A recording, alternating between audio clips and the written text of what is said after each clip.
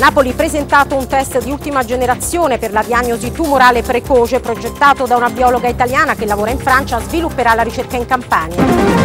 La nostra pagina dedicata alla medicina ha presentato a Napoli un test di ultima generazione per la diagnosi tumorale precoce progettato da una biologa italiana, Valeria Capezzuto.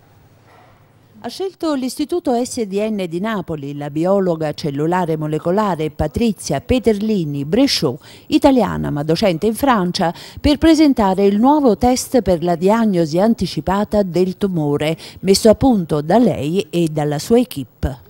Il test set consiste in due eh, tappe, una è l'isolamento di cellule tumorali rarissime a partire dal sangue del paziente, queste cellule vengono eh, eh, isolate su un filtro e la seconda tappa consiste in un'analisi citopatologica, quindi diagnostica, che permette di dire in modo preciso, senza errori, se sì o no ci sono cellule tumorali nel sangue. Quindi parliamo di un test per pazienti ai quali già è stato diagnosticato un tumore? Sì,